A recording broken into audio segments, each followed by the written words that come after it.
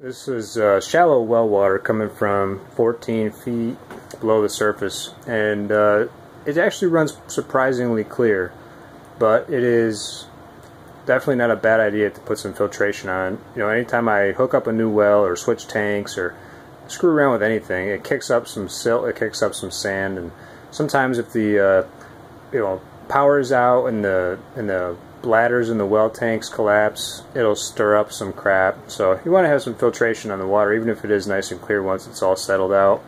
And uh, so the first filter I have is a 250 mesh or 60 micron spin down filter. And basically it just uses uh, centrifugal force to try to sling the heaviest particles down towards the bottom of the container. And then once you get a little bit of a buildup, you just open up this valve and you can either drain it into a, a, drain line or you can just blast it into a bucket real quick. And also it kind of it runs water across here and kind of flushes off the surface of that um, plastic film.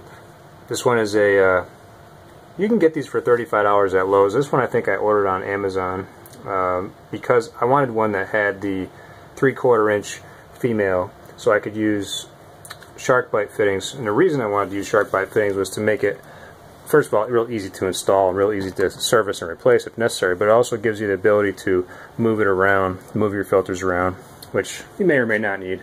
And after every filter, I put a pressure gauge so you can, you know, monitor, basically look at your pressure before and pressure after the filter while it, while someone has a faucet open somewhere and you can see your pressure drop uh, this thing comes apart. Basically, you can unscrew this and you can take that filter element right out of there, just wash it in the sink. Although I haven't seen any pressure drop whatsoever, and also I have never really had very much stuff build up in here. But for it, it catches the big particles, catches sand, and at 60 microns, uh, it's it avoids having to do a lot of filter changes so that I can go right next I want my right my next filter is a 5 micron so I can jump right to that.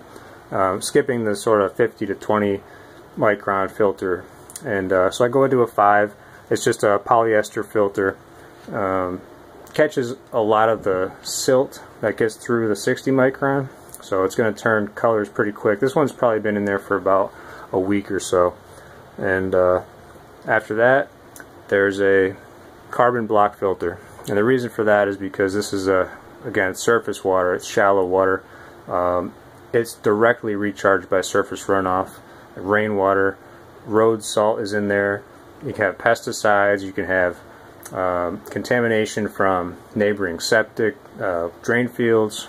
So a carbon filter is probably not a bad idea and allows you to filter out stuff like pesticides, herbicides, smells, tastes, things like that. I don't really smell or taste anything in this water, but considering the fact of how close to the road I am, it seemed like a good idea. I wouldn't even want to really shower in this water if it was contaminated by pesticides or herbicides or anything like that. So that pretty much does it. And I'm not going to, of course, drink the water that comes out after this filter, but uh, after this it goes into a set of reverse osmosis, which starts off with a 1 micron filter and then goes to another carbon block filter then the reverse osmosis membrane, which is a, I think it's a 75 gallon per day Filmtec.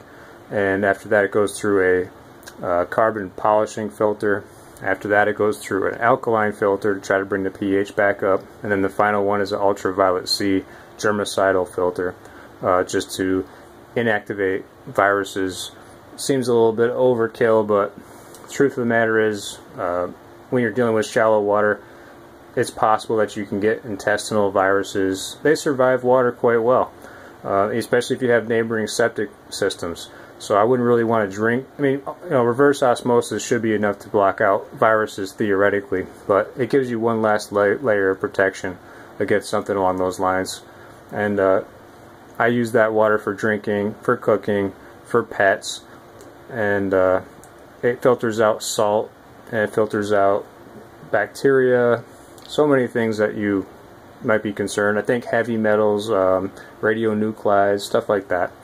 So the reverse osmosis is not it's not terribly expensive. I think it's $150 for an under sink system that comes with a faucet and a tank. So it's not too bad. And if you buy the filters in bulk, These filters are, I think, about $4.50. I buy six at a time. These are about $2 a piece. And uh, the one microns, I think I might have paid $2 a piece for those as well. When it comes time to changing filters, uh, this type of a housing is very helpful because you can choose bypass. If you set it to bypass, you can close this down and relieve the pressure. And when you unscrew this, there's not you can actually continue to use your water system while you're replacing filters if you really want to by using bypass. So once you turn it to bypass, you can unscrew this and it's not connected. If you have it set to off, I still get pressure coming in backwards through this thing for some reason. I think it only it only blocks from this direction when it's set to off. But this is a great housing. I like the fact that it's got a, a clear container and I like the fact that it's got a bypass on it. I think it was about $40 on Amazon. And again, I used these uh, SharkBite fittings, so I have the ability to move it around. And it's attached to the wall with anchors and a steel uh, bracket, which you can get on Amazon for like four bucks. This one I got um, sort of for free as a um, as a bonus feature from a Craigslist deal. It's just a plain Jane.